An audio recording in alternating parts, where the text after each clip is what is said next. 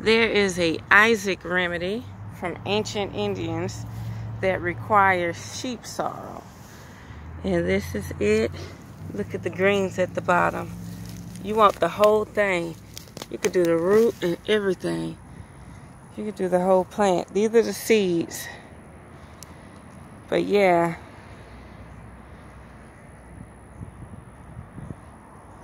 And it's a lot of it out here.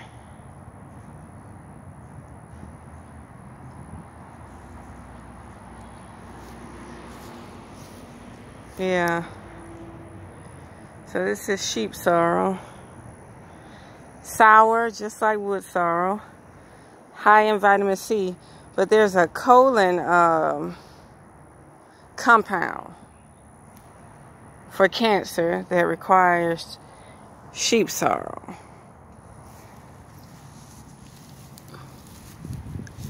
See that big rosette?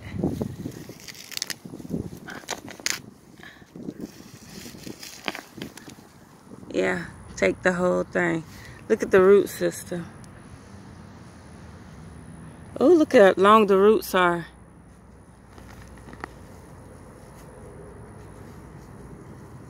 You can eat them little white bulbs too.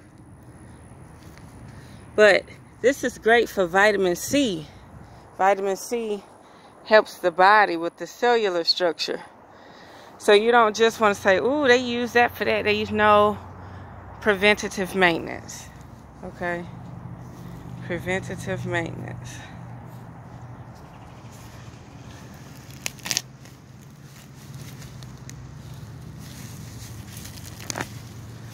Yep.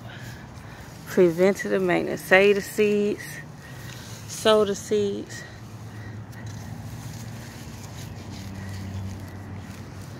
I'm gonna make a raw green juice with nothing else.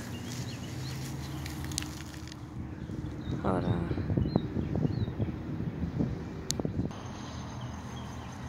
Yep, so that is sheep sorrel in the Essiac formula.